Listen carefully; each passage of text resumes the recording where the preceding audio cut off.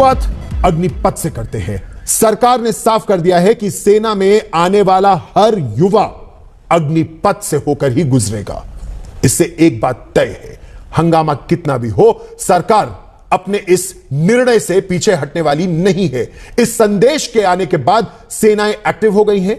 थल सेना ने आज नोटिफिकेशन जारी कर दिया है। इस नोटिफिकेशन को नजरअंदाज नहीं करना चाहिए, क्योंकि नोटिफिकेशन ही कई बार देश की नीतियों में बदल जाते हैं। हम आपको अग्निवीरों की भर्ती से जुड़ा नोटिफिकेशन न सिर्फ़ दिखाएँगे, बल्कि उसका मतलब भी समझाएँगे। अग्निपथ स्कीम को लेकर देश में समय जो बवाल है, उसकी जड़ इस नोटिफिकेशन को देखकर आप समझ जाएँगे। चलिए, अब हम आपको दिखाते हैं कि आखिर ये नोटिफिकेशन है क्या वो कहता क्या है।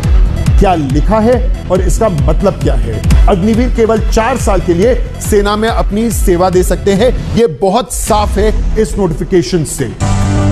इनरोलमेंट एक थर्ड पॉइंट अग्निवीरों को ना पेंशन मिलेगी, ना ग्रेचुइटी मिलेगी, क्योंकि ये चार साल की सर्विस है, पाँच साल की नहीं है।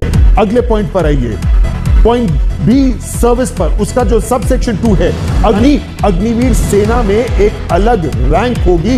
इनकी रैंक बिल्कुल इतर होगी। सेना के जवानों से पहले चार वर्षों में यह बात सेना ने इस नोटिफिकेशन के ज़रिए साफ़ कर दी है कि चार साल की सेवा के दौरान जो छुट्टियाँ, वर्दी सैलरी अलाउंसेस उन्हें मिलेंगे, वो एक तय लिमिट पे मिलेंगे।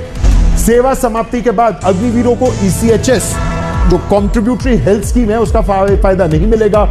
सेवा समर्पित के बाद अग्निवीरों को के सेना की कैंटीन की सुविधा भी नहीं मिलेगी। सेवा समाप्ति के बाद पूर्व सेना कर्मी होने से जुड़ी कोई सुविधा उन्हें नहीं मिल पाएगी। सेना में सेवा समाप्ति के बाद सैन्य जानकारी बाहर साझा नहीं कर सकते। नियम तोड़ने पर ओएसए ऑफिशियल सीक्रेट एक्ट 1923 के तहत उनके खिलाफ कार्रवाई होगी। ये बहुत साफ़ अब अग्निवीरों के लिए कर दिया गया है कि हर बैच में से 25 प्रतिशत अग्निवीरों का चयन सेना में किया जाएगा। यह चयन अग्निवीरों के अधिकार क्षेत्र में नहीं है। यह चयन सेना का आधार होगा। अग्निवीर को चार साल बाद सेवानिधि पैकेज के तहत ग्यारह लाख इकहत्तर हज़ार रुपए मिलेंगे। ग्यारह लाख इकहत्तर हज़ार चार साल बाद अग्निवीर सर्टिफिकेट भी उन्हें दिया जाएगा। चार साल बाद बारहवीं के समकक्ष एक सर्टिफिकेट उनको ये दिया जाएगा। अगला पॉइंट पर हम चलते हैं।